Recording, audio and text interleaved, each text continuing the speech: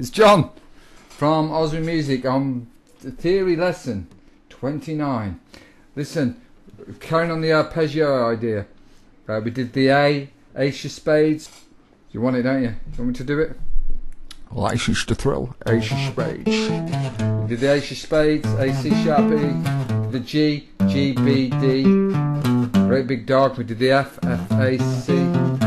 If I was to do this in B, beady-eyed fish, and it's got two sharp eyes. Thank you, my Aussie subscriber pal, for telling me that one. That's B. That's C sharp, that's D. That's D sharp. And this is F sharp. Can I prove that's an F sharp? C, D, E, F sharp, because I know my dot marks. B, D sharp, F sharp. And that's B octave, because the octave is a string apart and a fret apart. B, D sharp, F sharp. I move it up one note, this is C. What's the C chord? C triad, keg. C, E, G. C, there's the E on the 12th fret.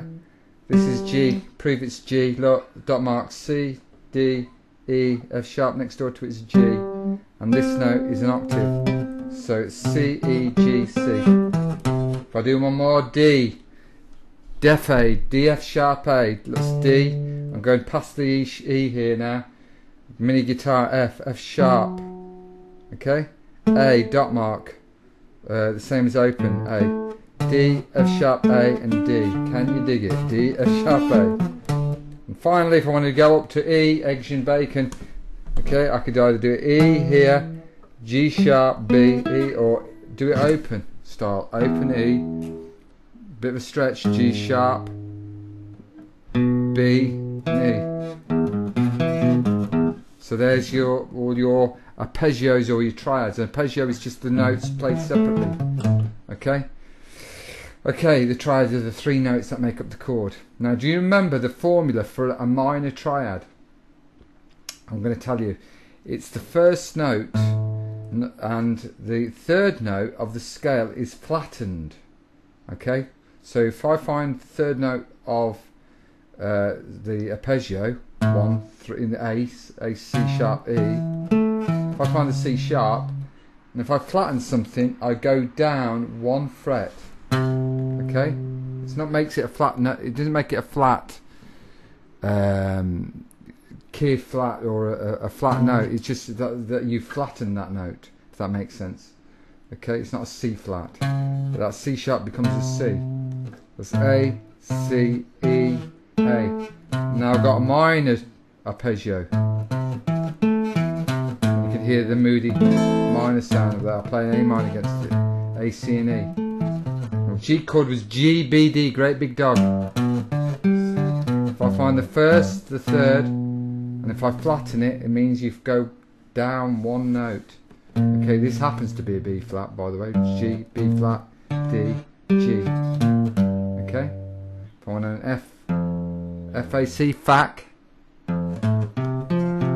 Okay, Cockney swear word. Face C or face. So if I find the A and I flatten that, the A becomes an A flat. It happens to become an A flat, that is. F, A flat, A, C, F. So it's an F minor. Do one more. B. B major is B, D sharp, F sharp, two sharps. If I flatten the D sharp, D sharp flattened is B, D, F sharp. A C major is keg, C, E, G. So if I find the E and flatten it, one note, that's an E flat, C, E flat, G, C. Okay? Okay, uh, this might be taking a lot of, um, you know, your time. Your, your, your brain can start to go to turn to porridge, goes to mush a bit after doing this. But uh, if you've followed the course and looked at your triad lists, it should make sense a little bit. D, F sharp, A, D. So the F sharp I flattened is an F, D, F, A. So what am I doing? What am I doing? I don't know. and if I do an E, E, G sharp, B, E, G sharp, B, E. If I find the E, G sharp and flatten it's G. So what I'm doing is doing the major tri major arpeggios is A major, and then A minor, A C E. It's A C sharp E major, and flattening this this note, A C E, G, G B D, and G B flat D. You can hear the difference minor quality. Okay, so that gives you the major and minor sound. Right, here's here is a secret. This is what I really call a secret to understanding music. It's the biggest secret that I can give you, and uh, it sounds so simple, so dull. It doesn't sound like a secret. It's so so prosaic, so dull, but it is.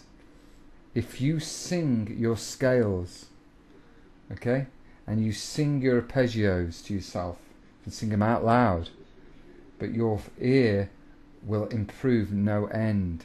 So when I'm playing a major scale, I'll do an A major. That finger, it's the same. Okay. I sing it. I sing in my head. La la la la la la la la la la la la. I preempt the note. La la la la la la la la. Okay, and I do the same with the arpeggio. La la la la la la la. And the minor arpeggio. The minor arpeggio is a little bit hard to to, to sing at first, if you can imagine it. La la la la la la. That's in the key of A. If I do it in G, it's got to be the same, just a bit lower. There's the scale. La la la la la la la la la la la la la la la. Arpeggio. La la la la la la la. Minor arpeggio. La la la la. Okay, this will really improve your ear training.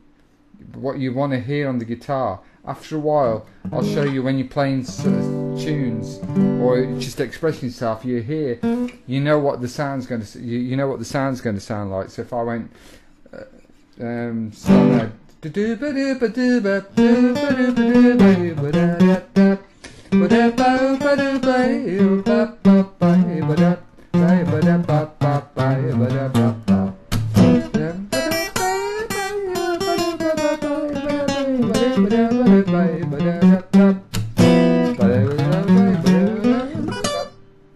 wouldn't that be great if you could just express yourself on the guitar? Just play in your heart what you want to play, and your voice com- comes out and is the instrument.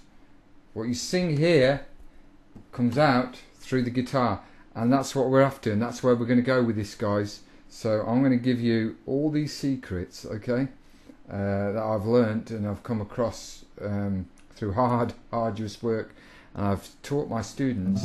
If you're willing to uh, do this course sequentially, this is where you it's going to get to, and you'll be able to work out songs, improvise, uh, play exactly what you want to hear in your head, all these things. Okay, so please stick with it, and I'll see you soon. Peace.